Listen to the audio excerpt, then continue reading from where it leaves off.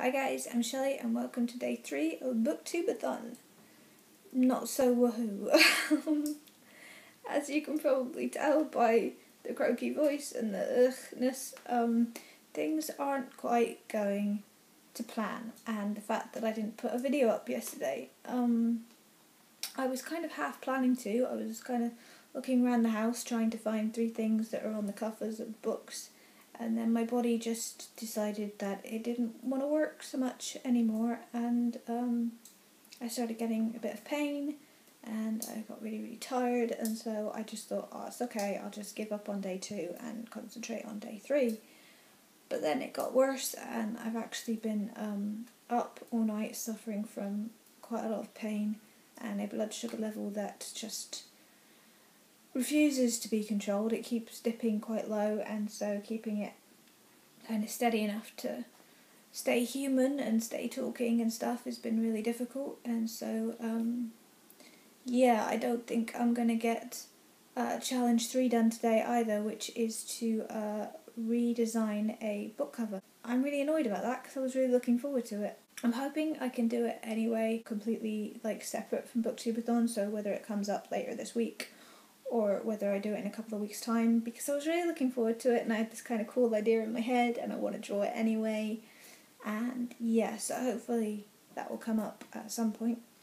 But um, one kind of good thing that comes out of being awake all night is that you get through a few more books than you'd planned to. I finished reading Lola and The Boy Next Door, which, oh, just Stephanie Perkins, you've done it again. This is um, wonderful. I love this even more than Anna and the French Kiss because um, I just took to Lola more than I took to Anna. Lola has um, kind of thing where she dresses up, not in costume every day, but she just kind of she expresses who she is through what she's wearing. And um, one day she decides to dress as a strawberry, so she is um, dressed in this kind of nineteen 50s swing red polka dot dress with green um, combat boots on. I'm just like, I want to be Lola. It made me really want to go um, vintage clothes shopping and just buy wigs and pretty things. And I love combat boots. So yeah, um, it's it's such a beautiful book about a coming of age kind of first love and finding out who you are.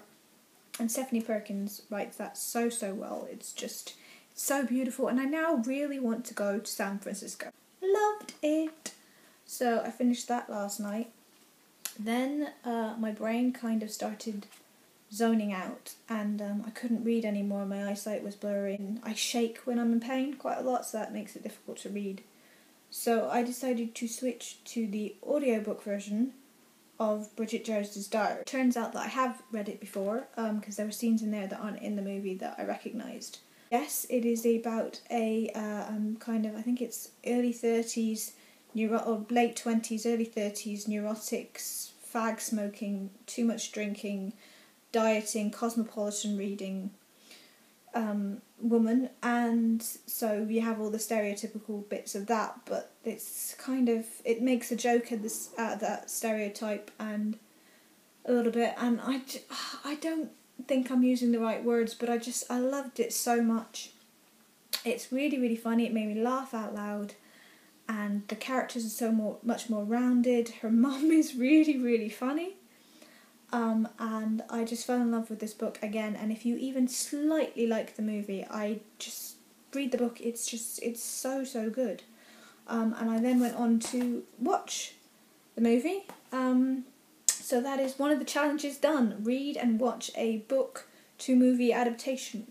Woohoo! I did really quickly want to say, did you guys see um, Ariel Bissett's video on um, her entries for the giveaway that she did? Because um, she was so overwhelmed and so just grateful for all the giveaway um, entries she got and she was crying and I just wanted to go give her this massive hug and I just I just want to go say thank you. I do want to say thank you to Ariel because she's just brought this community back together over the last couple of months. There's been like talk and discussions about how there's been some kind of divide in the booktube community and this the booktubeathon just seems to have brought everybody back together again and we're just obsessing over the books we're reading and everything and it's just it's so wonderful to be part of this community. I'm talking to people I've never talked to before, and I'm watching people's videos that I wouldn't have come across before, and I'm just so so grateful to be part of this community.